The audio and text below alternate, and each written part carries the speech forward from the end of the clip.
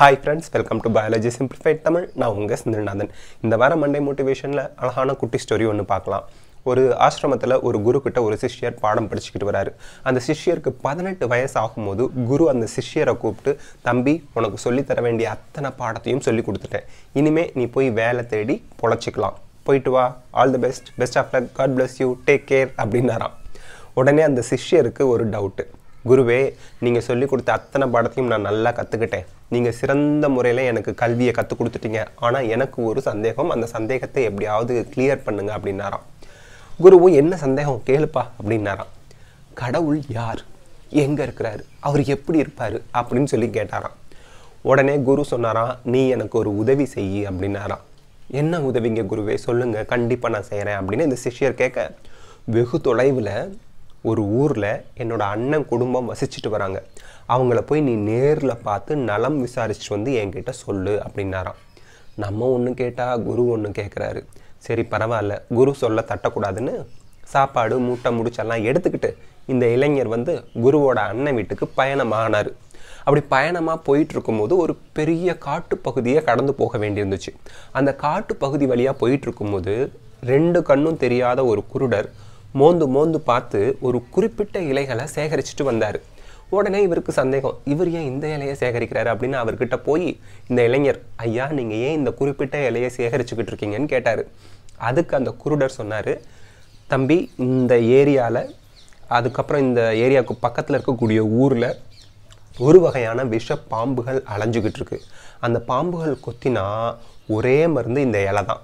இந்த பாம்பு கடியால் அவதிப்படுறவங்களுக்கு இந்த இலையை கசக்கி அந்த சாரை அவங்க வாயில் விட்டோம்னா அவங்க உயிரை காப்பாற்றிடலாம் இது சிறந்த விஷ முறிவுப்பா அப்படின்னு சொல்லிட்டு எதுக்கும் நீயும் கொஞ்சம் வச்சுக்கோ. ஏன்னா இந்த பகுதியில் தான் நீயும் பயணமாகிட்டு இருக்க அப்படின்னு ஒரு பத்து பதினஞ்சு இலையை எடுத்து அவர்கிட்ட கொடுத்தாராம். ரொம்ப நன்றி ஐயான்னு சொல்லிட்டு அந்த இளைஞர் வந்து எனக்கு ரொம்ப தாகமாக இருக்குது எனக்கு தண்ணி எங்கே கிடைக்கும்னு சொன்னீங்கன்னா பரவாயில்ல அப்படின்னு அந்த குருடர்கிட்ட கேட்குறாரு அப்போ அந்த குருடர் சொன்னாராம் இப்படியே போய் நீ போனீன்னா அந்த இடத்துல ஒரு கிணறு இருக்கும். அங்கே போய் நீ தண்ணி குடிச்சுக்குப்பா. தேவாமிரதம் மாதிரி இருக்கும் அப்படின்னாராம். ரொம்ப நன்றி ஐயான்னு அந்த குருடர் சொன்ன வழியில் போனால் ஒரு கிணறு இருந்துச்சு தண்ணி எடுத்து குடிச்சா அவ்வளோ தேவாமிர்தமாக இருந்துச்சான் அதுக்கப்புறம் அவர் பயணமாயிட்டே இருக்கும்போது ரொம்ப டயர்டாக இருந்துச்சுன்னு ஒரு மரத்துக்கு அடியில் படுத்து தூங்கிட்டு இருக்கிறாரு. தூங்கிட்டு இருக்கும்போது காலில் ஏதோ உரசிட்டு போன மாதிரி இருந்துச்சு. இவர் திடுக்கிட்டு எழுந்திரிச்சு பார்த்தா ஒரு முயல். சே இந்த முயல் தான் உரைச்சிட்டு போயிருக்கா? தூக்கம் கலைஞ்சிருச்சு. சரி நம்ம எழுந்து நம்ம பயணத்தை தொடருவோன்னு அப்படி கொஞ்சம் தூரம் தான் அந்த மரத்தை விட்டு நகர்ந்து வந்திருப்பாரு. மிகப்பெரிய கிளை ஒரு பிரான்ச் அந்த மரத்துலேருந்து ஒடிஞ்சு இவர் படுத்துட்டு இருந்த இடத்துல சொத்துன்னு வந்து விழுந்துச்சான் அப்போ அவருக்கு ஷாக் ஆயிட்டாரு. நல்ல வேலை இந்த முயல் வந்து நம்மளை மேலே மோதிட்டு போணுச்சு. இல்லைன்னா நம்ம இந்நேரம் அங்கே தானே படுத்து தூங்கிட்டு இருந்திருப்போம். அந்த கிளை நம்ம மேலே விழுந்திருந்தா நம்ம உயிருக்கே எல்லாம் ஆபத்தாயிருக்கும் அப்படின்னு நினச்சிக்கிட்டு நல்ல வேலை அப்படின்னு சொல்லிட்டு அங்கேருந்து பயணத்தை தொடர்றாரு. தொடர்ந்து போனவர் அந்த குருவோட அண்ணனோட ஊர் இருக்குல்ல அந்த ஊரோட எல்லை பகுதியை அடையிறாரு. அங்கே வந்து பார்த்தீங்க அப்படின்னா ஒரு ஏழை குடும்பம் பசியால் வாடுறாங்க. அப்போ அவர் கொண்டு போயிட்டு இருந்த அந்த சாப்பாட்டு மூட்டையை ஓப்பன் பண்ணி அவங்களோட ஷேர் செஞ்சு இவரும் சேர்ந்து அந்த உணவை சாப்பிட்றாரு எல்லாம் பகிர்ந்து சாப்பிட்றாங்க. அப்போ அந்த குடும்பமே இவருக்கு நன்றி சொன்னிச்சு. இன்றைக்கி எங்களோட பசியை நீங்கள் ஆற்றிட்டீங்க ரொம்ப நன்றி அப்படின்னு சொன்னாங்க. இவர் சந்தோஷமாக அங்கேருந்து கிளம்பி போகிறாரு போயிட்டுருக்க வழியில் ஒருத்தர் ரோட்டில் உளுந்து வாயில் நுர தள்ளி உயிருக்கு போராடிக்கிட்டு இருக்கிறாரு. பார்த்தா ஒரு விஷப்பாம்பு அவரை கொத்திட்டு அங்கே போய்கிட்டு இருக்குது. உடனே இவர் அந்த கையில் இருந்த அந்த இலை அந்த குருடர் கொடுத்தாரு இல்லையா? விஷமுறிவு. அந்த இலையை எடுத்து கசக்கி அதோட சாரை அவரோட வாயில் விடுறாரு. அவர் கொஞ்ச நேரத்தில் நல்லாகி அந்த விஷம் முறிவு ஏற்பட்டு ஆரோக்கியமாக எழுந்திரிச்சு நிற்கிறாரு எழுந்திரிச்சு நின்னவர் தம்பி யாருப்பா? நீ ரொம்ப சின்ன வயசு பையனாக இருக்க. என் உயிரையே காப்பாற்றிட்ட நீ யாருப்பான்னு கேட்டதுக்கு இவர் நடந்ததெல்லாம் பிகினிங்லேருந்து சொல்கிறாரு ஓ நீ நல்லா படிப்பெல்லாம் படிச்சிருக்கியா? அதுவும் அந்த பர்டிகுலர் குருக்கிட்ட படிச்சிருக்கியா? சரி நான் வந்து இந்த நாட்டோட அரசவையில் இருக்கக்கூடிய மந்திரி. என்னோட வேலையே என்னென்னா தினமும் வந்து இந்த ஊர்வலம் வந்து ஊரில் எல்லாம் நல்லா செயல்பட்டுக்கிட்டு இருக்காங்களான்னு செக் பண்ணிவிட்டு ஏதாவது பிரச்சனை இருந்தால் அரசர்கிட்ட போய் சொல்கிறது தான் அப்படி வந்துக்கிட்டு இருக்கும்போது தான் இந்த பாம்பு என்னை குத்திருச்சு. நல்ல வேளை நீ என் உயிரை காப்பாற்றிட்ட உன்ன மாதிரி இளைஞர்கள் இரக்க குணம் உள்ளவர்கள் உதவி குணம் உள்ளவர்கள் அரசவையில் வேலைக்கு ஆட்கள் தேவை. நீ என் கூட வாப்பா கண்டிப்பாக உனக்கு அரசவையில் ஒரு வேலை வாங்கி தரேன் அப்படிங்கிறாரு. அந்த இளைஞர் எனக்கு என்னோடய குருவுக்கு செய்ய வேண்டிய வேலை ஒன்று இருக்குது அந்த வேலையை முடிச்சுட்டு நான் உங்களை வந்து பார்த்து இந்த நீங்கள் சொல்கிற அந்த அரசவை வேலையை ஏற்றுக்கிறேங்கய்யா ரொம்ப நன்றி அப்படின்னாராம். உடனே அந்த மந்திரியும் உனக்காக நான் காத்துக்கிட்டு இருப்பேன் அப்படின்னு சொல்லிட்டு அவன்கிட்ட இருந்து விடை பெற்றுக்கிட்டு போயிட்டாராம். அந்த இளைஞருக்கு ரொம்ப சந்தோஷம். வாழ்க்கையில் செட்டில்மெண்ட் ஆயாச்சு இல்லையா? கவர்மெண்ட் ஜாப் கிடைக்க போகுது. சரின்ட்டு அந்த இளைஞர் திருப்பியும் போகிறாரு போனவர் அந்த குருவோட அண்ணன் வீட்டுக்கு போகிறாரு அவங்கக்கிட்ட நல்லா விசாரிக்கிறாரு. அந்த குருவோட அண்ணன் வீட்டில் நிறைய பொருட்கள் இந்த குருவுக்கு கொடுக்க சொல்லி இவர்கிட்ட கொடுக்குறாங்க. அந்த பொருட்களெல்லாம் வாங்கிட்டு நல்லபடியாக குருவோட ஆசிரமத்துக்கு வந்து அவர்கிட்ட இந்த மாதிரி நான் வழியில் நடந்த விஷயத்தெல்லாம் சொல்லி உங்கள் அண்ணன் வந்து இந்த பொருட்கள்லாம் உங்ககிட்ட கொடுக்க சொன்னாருங்க யாரும் கொடுக்குறாரு. அப்போ குருக்கிட்ட கேட்குறாரு குருவே இப்போவாவது சொல்லுங்கள் யார் கடவுள்? கடவுள் எங்கே இருக்கிறாரு? அவர் எப்படி இருப்பார்? அப்படின்னு சொல்லி கேட்குறாரு குரு கிட்ட தான் இவர் வழியில் நடந்த விஷயம் எல்லாத்தையும் சொன்னார் இல்லையா? அப்போ குரு சிரிச்சுக்கிட்டே சொன்னாராம்.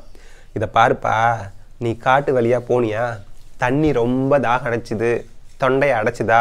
அப்போது அந்த குருடர் வந்து இந்த அப்படியே போனால் ஒரு கிணறு இருக்கும் அங்கே தண்ணி தேவாமிர்தம் மாதிரி இருக்கும்னு சொன்னாரா? நீ தண்ணியை குடிச்சியா? அப்போ உனக்கு எவ்வளோ திருப்தியாக இருக்கும்? அந்த குருடர் தான் கடவுள் உனக்கு அப்போது அதுக்கப்புறம் நீ ஒரு மரத்துக்கடியில் படுத்திருந்தியா? ஒரு முயல் வந்து உன் காலில் உரசிட்டு போணுச்சா?